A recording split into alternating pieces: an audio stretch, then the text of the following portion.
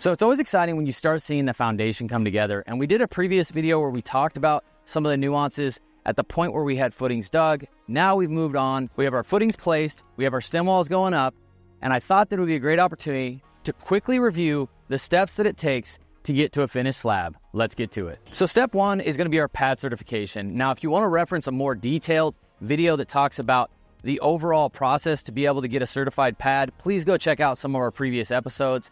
But ultimately, we need a certified pad from a geotechnical engineer before we ever put a shovel in the ground for our foundation. The second item is using this little beauty here, which is a little survey tassel that allows us to be able to indicate exactly where our building corners are. Now, since we have a civil engineer of record that's required on all of our projects for our new grading and drainage plan when it comes to new construction, it makes it really easy because typically they're taking care of the initial property survey, the building survey, the grading and drainage plan, which they have to come back and certify that everything was built as it was designed, which is called as built.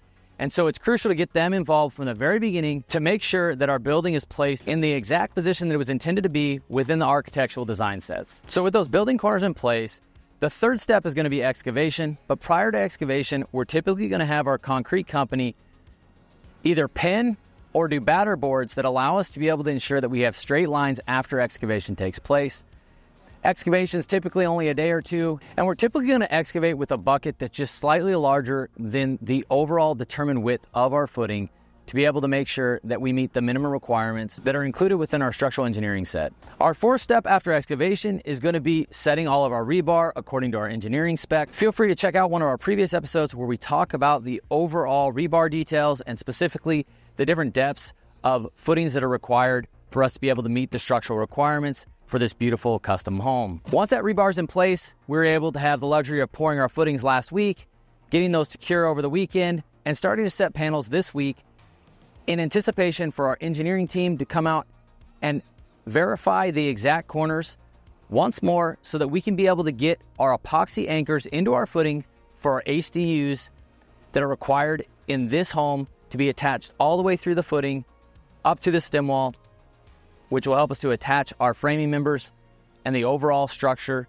of the home to our foundation, which is the step that we're currently at.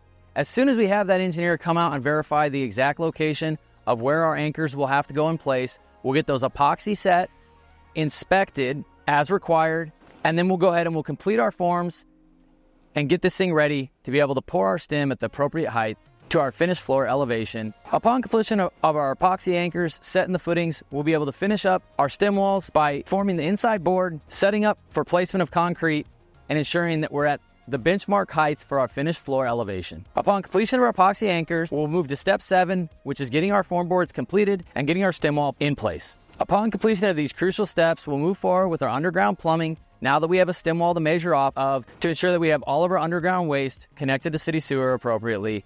And then we'll go ahead and we'll finish things off with step eight for concrete, which is going to be getting our termite pre-treat prior to placing our final slab. Stay tuned for more details as we continue to place this foundation over the course of the next couple weeks. And as always, have a great day.